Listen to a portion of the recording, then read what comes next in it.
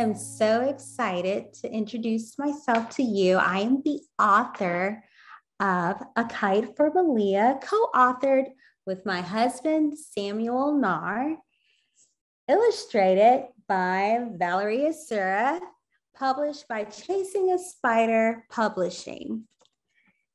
And I wanted to give you a little backdrop about this book, A Kite for Melia.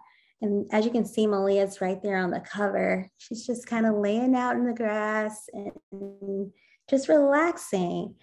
A little bit of a backdrop about this book. Um, a Kite for Melia was written by myself, as I mentioned, with my husband. And it's a story about a little girl and perseverance. She does not give up on her goal. Her goal in this story is to make a kite. There's a bigger picture behind Melia wanting to construct this kite as she wants to fly this kite for a friend in remembrance of her, maybe a fur friend, a fur baby that she grew up with and that she misses. And you'll see throughout the story um, what she's going to do for that fur friend that she used to have. Um, and if you're ready, I am ready to get started and bring to you a kite for Melia. Melia watches the older children fly kites over a ridge. She wants to fly one too. It's Beautiful kites.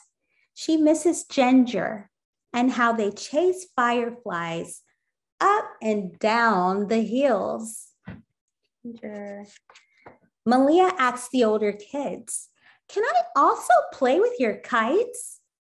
In unison, they say, Go and make your own kite. Melia doesn't know how to make a kite. These kids won't teach her either. She wishes that their kites would get stuck in a baobab tree. Can you imagine that? Oh man.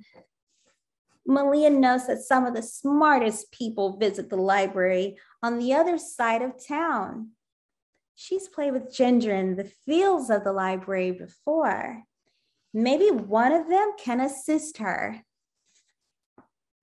With twists and turns, these dusty roads seem endless. Even so, the sight of the library fills her heart with joy. So the library does to me also. But no one here knows how to make a kite. Melia feels like throwing away the items for her kite. Somehow she suspects that an answer is close by. She finds a book about kites hidden in a case. She discovers twinkles of beauty in silence. This age booklet smells like success. She makes a kite with a bow on its tail Melia goes back to the ridge.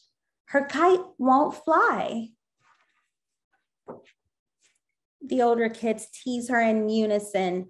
A pig with the bow still won't fly. Dear, tears fill her eyes as she tries again. Her kite circles in the air like a dog chasing its tail. They laugh at her frightening a stubborn fawn nearby. My kite is an eagle, she whispers to herself. She centers the bridle of her kite. The older kids are speechless now. Wow, Melia's kite dances with the rainbow. Her kite tugs, feeling heavy as it soars into the cradle of the sky. Melia's face beams with joy because she's tagged a note on her kite just for Ginger. Perhaps her best friend might also hang a note for Melia on a star.